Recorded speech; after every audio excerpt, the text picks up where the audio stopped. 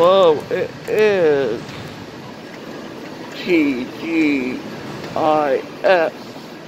Friday the 13th workout is a rainy fall day on the 13th of November.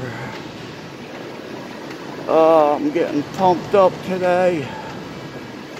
I'm coming back a little less days, but my arms are, you know, I'm doing lighter weight so I can build back up, but I did benching, upright curls. I guess they'd be upright row, upright curls. I guess they'd be called the pec fly curling and um, I'm on the bike and I'll probably do lateral raises when I get off the bike. At least I got a ride here.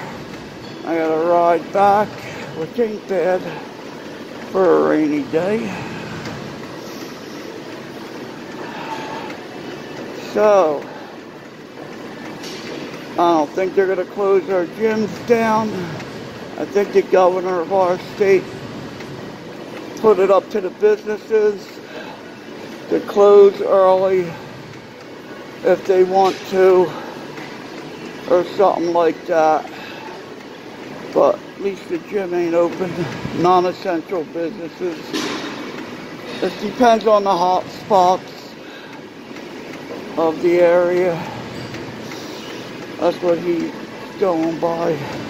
But anyway, I'm here just for today. That's all I got to worry about.